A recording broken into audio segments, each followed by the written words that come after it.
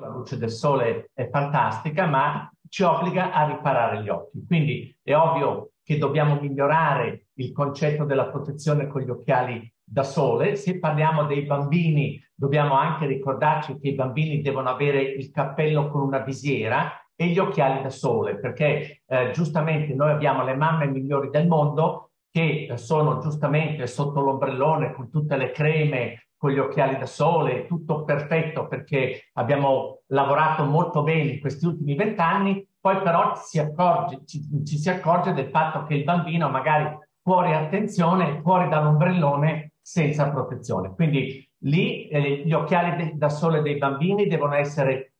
sempre di qualità, basta andare dall'ottico, l'ottico è la persona certificata che rilascia appunto un certificato con le caratteristiche e la qualità della protezione delle lenti. Questo è fondamentale. L'altra cosa che viene utilizzata molto sono le lenti a contatto al mare, perché i portatori di lenti a contatto che comunque durante l'anno hanno difficoltà normalmente a portarle, è ovvio che devono avere delle regole fondamentali. Primo, le lenti devono essere sempre usa e getta, cioè una volta messe, una volta tolte, eh, devono essere cambiate, perché questa è la sicurezza. La seconda cosa, quando si fa il bagno, eh, noi non lo, non lo consigliamo con le lenti a contatto, finito il bagno però bisogna cambiarle perché la lente a contatto è come una, una spugna. Quindi l'altra cosa fondamentale, e chiudo, è il calore. Il calore ovviamente fa evaporare tutto, fa evaporare l'acqua del mare, ci sono i temporali, tutto ma fa evaporare anche le lacrime dei nostri occhi e anche le sostanze lubrificanti. Quindi dobbiamo portare particolare attenzione a questo, sapere che dopo i 50 anni la quasi totalità delle persone soffre di un disturbo che impropriamente è chiamato occhio secco e oggi questa situazione ha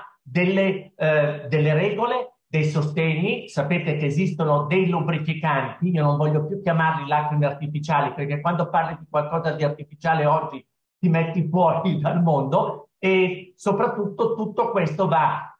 assistito con i controlli che ricordo la società oftalmologica italiana ha sempre portato avanti, una visita alla nascita entro i tre anni, il primo giorno di scuola, dai 10 ai 15 anni per controllare la miopia, poi si passa dai 40 ai 60 anni ogni due anni e dopo i 60 anni una volta l'anno.